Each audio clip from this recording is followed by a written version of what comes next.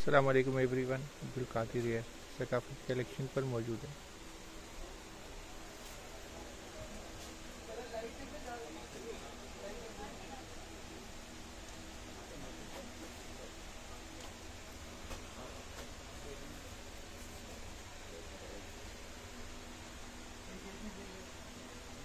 Cotton fancy dress है इसका।